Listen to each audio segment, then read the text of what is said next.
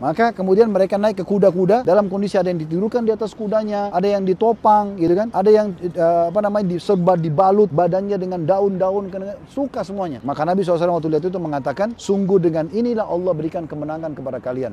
Keluarlah pasukan 630 orang itu mengejar Quraisy. Quraisy waktu itu Bapak Ibu sekalian tiba di satu lokasi namanya Hamrat Asad. Hamrat Asad itu terjemahannya kurang lebih singa merah. Karena di situ ada gunung, gunung berwarna merah, kemungkinan banyak singa pada saat itu dikenal dengan Hamrat Asad. Kalau tidak salah jaraknya sekarang dari sini sekitar 80 km lah. Pasukan Quraisy sudah tiba di sana. Maka Nabi SAW disuruh oleh Allah untuk mengejar ke Hamrat Asad. Orang-orang Quraisy itu dengar itu, mereka bingung. Ini siapa yang keluar? Pasukan baru kah? Mereka utus utusannya datang ke Madinah, tanya kepada pimpinan orang munafik Abdullah bin Abi Salul. Ini yang keluar sama Muhammad pasukan baru atau dari mana ini? Kata Abdullah bin Abi Salul tidak. Perintah Muhammad justru yang keluar harus yang kemarin saja, yang luka-luka itu. Subhanallah hikmahnya apa? Abu Sufyan lalu mengatakan kalau benar yang kau katakan, maka tidak ada pasukan yang keluar setelah mereka luka kecuali mereka akan balas dendam. Jangan dihadapi kalau begitu. Maka karena itu mereka tidak berani. Mereka tetap pulang ke kota Mekah dan Nabi SAW tinggal di Hamrat Asad selama tiga hari. Menunggu mereka, mereka tidak kembali.